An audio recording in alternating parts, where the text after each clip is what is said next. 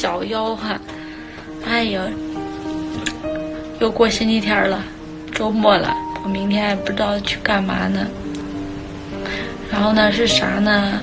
主要是我昨天给我妈打电话嘛，然后。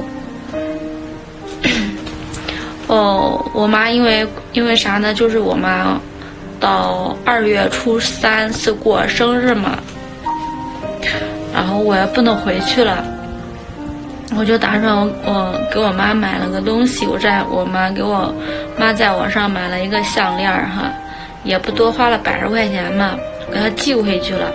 之前呢，就是我跟给我妈买了一个金项链，就是那个链子断了，还没打算修呢，我又给她买了一个珍珠的。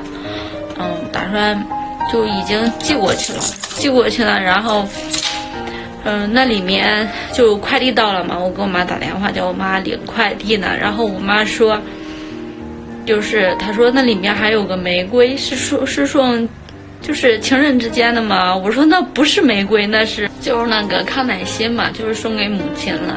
然后就是收了一个妈妈过生日的礼物，就给我妈寄回去了。哎，这闹了一个乌龙哈。然后到生日当天呢，我再给我妈发个红包就行了。你们觉得，嗯，是不回是回去好呢，还是说回去的话我还要请假，还是说直接发个红包好呢？然后礼物我已经就是买过了，给我妈寄回去了。你们觉得哪个好呢？好看。